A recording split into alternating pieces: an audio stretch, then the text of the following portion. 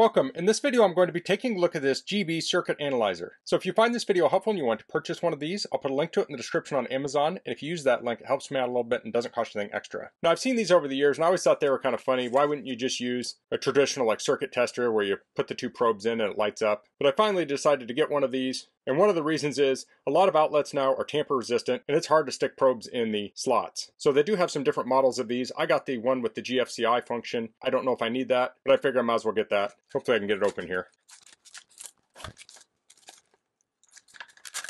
Okay, finally got it out. So it does list some features on the back. It says indicates five common wiring errors, dual status charts, bright three view indication, ground fault circuit test button. It tests three prong outlets, GFCI outlets, and energized extension cords. It does have full instructions that you can download from the website, but here's the tester itself. So it has a chart on here and it's on both sides. So that's good. So it doesn't matter which direction your outlet is wired, but it does only have the button on one side, but you could feel for it if it's upside down. So this tests for open ground, open neutral, open hot, hot ground reversed, hot neutral reversed, and and correct. So let me try this on a couple different outlets to test it out. So it does say this draws 0.3 watts. Let's try it here.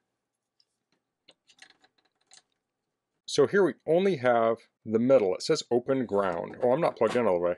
Let me turn my light off. So it's kind of bright in here. It's not super easy to see, but I am able to see it. It looks like a neon tube, similar to a traditional tester.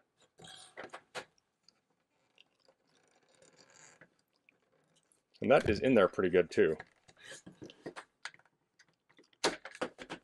Let's try this, see what we get.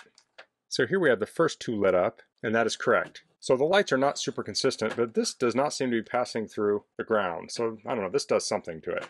And I've had that issue before with this plug. It acts a little weird when you're using the power meter. But this looks like it's wired correctly.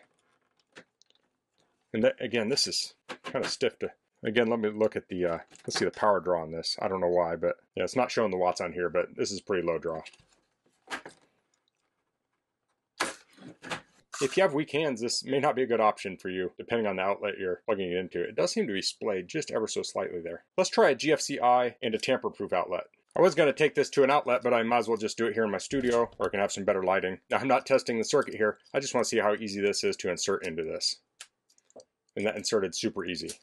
Sticking probes in here, you'd have to get them in at the exact same time. So typically, if I wanted to test this, I would use some other, like extension cord or something plugged in here. But this is going to be much, much easier. So here I have a GFCI protected outlet. So both of these are GFCI. I'll plug in here. We can see it is wired correctly. I'll press the button and it triggered the test. Now you may wonder why you wouldn't just press this button, but here we have one that's connected up to this, and this could be in another room. So we can plug into it and make sure it is also protected.